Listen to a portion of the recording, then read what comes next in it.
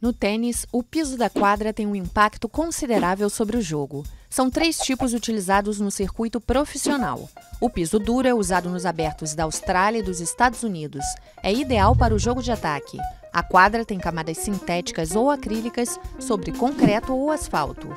Isso cria uma superfície rígida e uniforme e a bola quica de forma mais previsível que na grama ou saibro. A troca de bola é mais rápida, porque pouca energia é absorvida pela superfície, mas força as articulações e as lesões são mais comuns nessa superfície.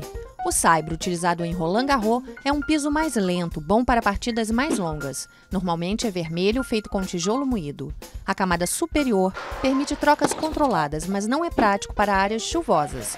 Poucas gotas não param uma partida, mas demora mais a secar após uma tempestade. Jogadores de defesa preferem esse piso pela quantidade possível de efeitos. É ideal para o top spin, movimento com a raquete de baixo para cima para fazer a bola girar. A grama utilizada em Wimbledon é um dos pisos mais rápidos e favorece os especialistas em saque e voleio. Muitas vezes produz jogos mais curtos. É uma superfície fria e sem brilho que favorece o slice, mas tem um desgaste rápido.